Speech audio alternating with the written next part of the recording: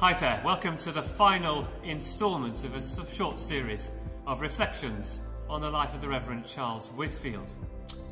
Whitfield was perhaps the most significant figure in the history of our Northern Baptist Association. He died 200 years ago this year. Whitfield first became convinced of the Baptist way of faith uh, through the influence of church in Newcastle upon Tyne that met in Tuthill Stairs, the oldest Baptist church in our association. And I'm here today in Westgate Baptist Church, in their building, uh, which is the successor to the Newcastle church that Whitfield would have known, that at the time met near the quayside in a meeting place on Tuthill Stairs. Westgate, as you look around the building, has many reminders that uh, this church has played an influential role in raising up leaders like Whitfield over the centuries, of planting new churches, of sending out people, of influencing mission uh, beyond the city of Newcastle. And so it's to this wider perspective, this relating together, that I want to draw our attention to today. One of the things that Whitfield was very keen to do was not simply be a minister in his own uh, community in Hamsterley, but he had a heart for all the Baptist churches of the Northeast. He had a heart to relate and to develop the relationships between the Baptist churches of the Northeast. He saw that we're better, stronger, and uh, more well resourced when we're together, when we share life together, when we learn from each other, when we pray for one another, where we relate well together and, and, and get to know one another. We're not meant to live in isolation and, and, and independent, but we're always called to interdependence, to relate with one another. And that's not just, of course, the Baptist family, it also extends to other church traditions as well. But Whitfield came into his ministry in Hamsterley at a time when the Northern Baptist Association, which had existed for about a century, uh, had basically fallen into an abeyance. Churches were uh, not doing anything together, they were simply following their own patterns. And Whitfield had to make two attempts during his lifetime to re establish the Northern Baptist Association, to get it functioning as a gathering, a meeting place, as a uh, sharing together of life across Baptist churches and yet he was able to do that.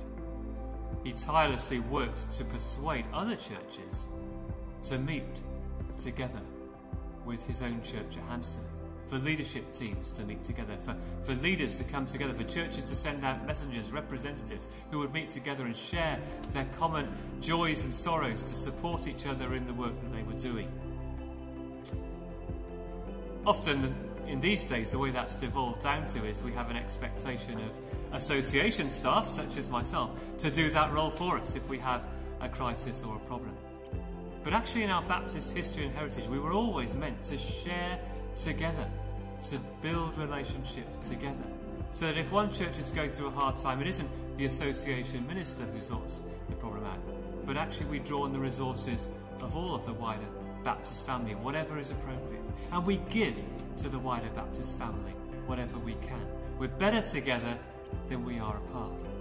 And in these days, as we transition, as we seek to go uh, into, into new places, as we seek to become more effective uh, and flexible and, and adaptable and open to God's Spirit and be used well in this 21st century, it's important that relationship comes to the fore again that we make the effort where we can to get to know one another, that ministers get to know one another, that leadership teams get to know one another, that congregations get to know one another, that we don't just look inwards, but we also extend that fellowship outwards as well.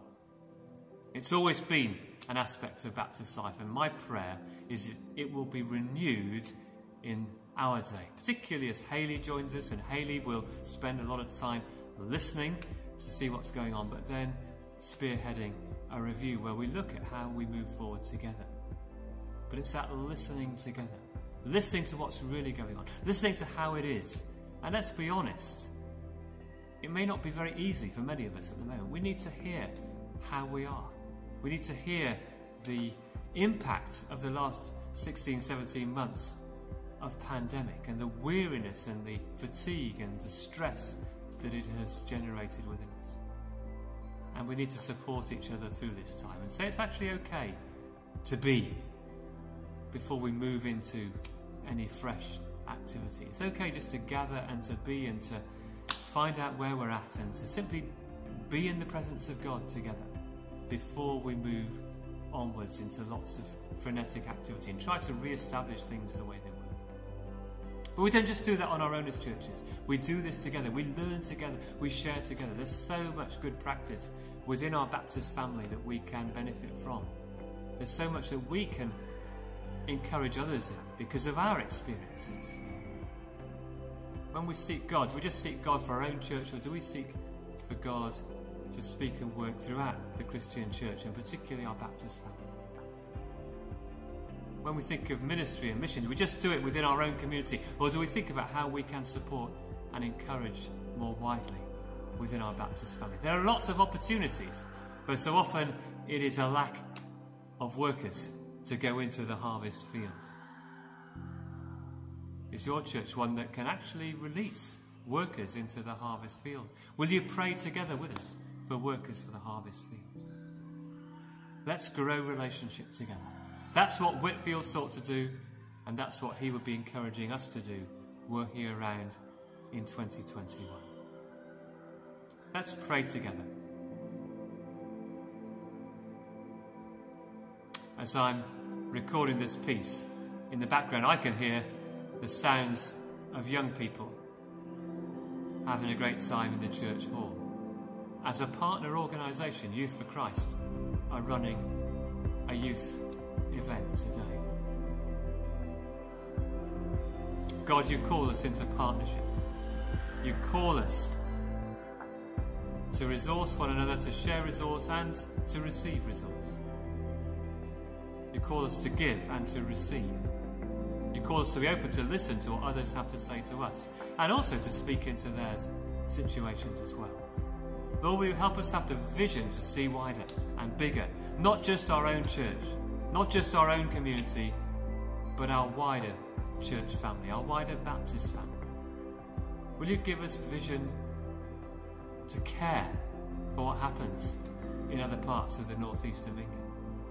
Will you give us a heart for our wider Baptist Association of every church in all the places where you've planted us and the places where, where you would want to plant new expressions of Baptist witness.